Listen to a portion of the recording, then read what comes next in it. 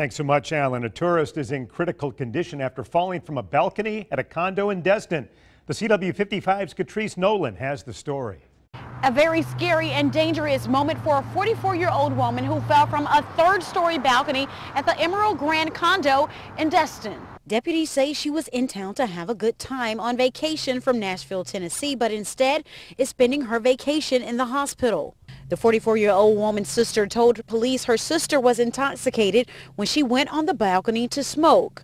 That people need to definitely watch out and be careful, you know, not to get too drunk and have a good time, but not too much fun.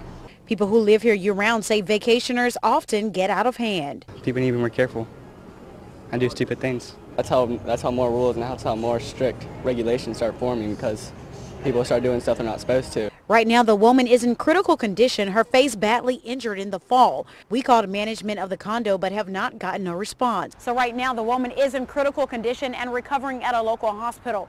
Reporting in Destin, Catrice Nolan, the CW55 News at 9. A woman from Pace has died after being hit